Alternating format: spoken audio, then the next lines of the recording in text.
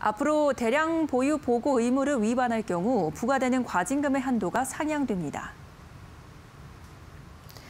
자본시장법상 투자자는 상장사 주식 등을 5% 이상 보유하게 되거나 이후 1% 이상의 지분 변동이 있을 경우, 보유 목적이나 주요 계약 사항의 변경이 있을 경우 관련 규정을 5일 이내에 보고 공시해야 합니다. 개정안은 이 규정을 위반했을 때 부과되는 과징금의 한도를 현행 시가총액의 10만 분의 1에서 시가총액의 만 분의 1로 상향 조정하기로 했습니다. 이와 함께 기업이 사모 전환 사채 등을 발행해 자금을 조달하는 과정에서 공시 의무도 한층 강화될 예정입니다.